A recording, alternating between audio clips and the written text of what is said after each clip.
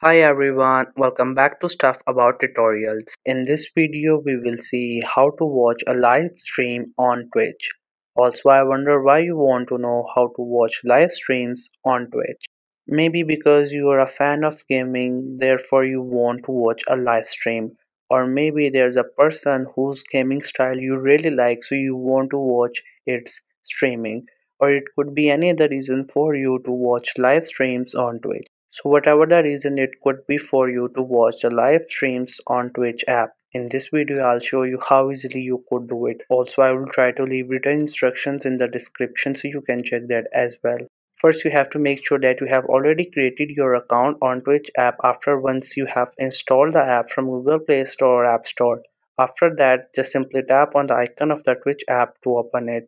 Once the app gets open, you will see its interface. We have options almost all over the screen. But at the bottom, we have four options. Currently, we are in the following section where you could see all your forward contact.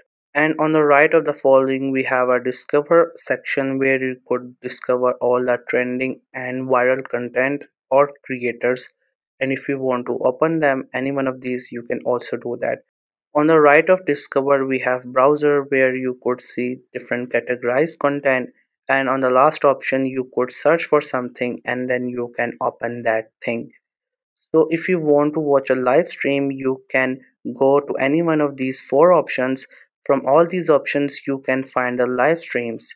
So for that first we will go to discover and there you will see all the trending and viral creators that are doing live streams and if you go to the browser this option there you will see different kind of categories and live channels based on their quality and their category. You can watch their videos and on the search if you want to search for something just simply type it and related content will come on your screen and from there you can see that.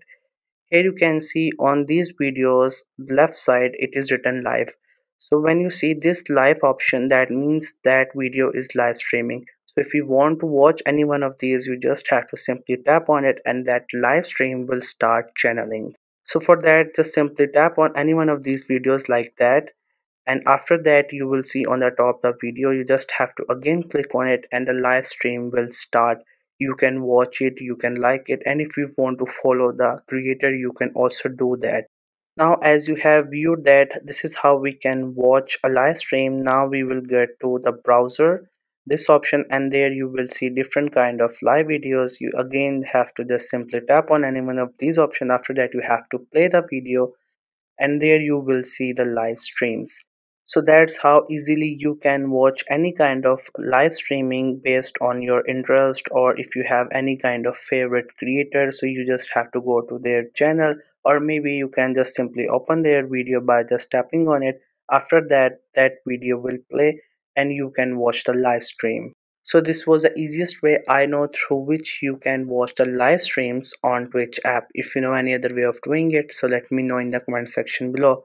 Also make sure to subscribe the YouTube channel for more informative videos and updates and thank you for watching the video.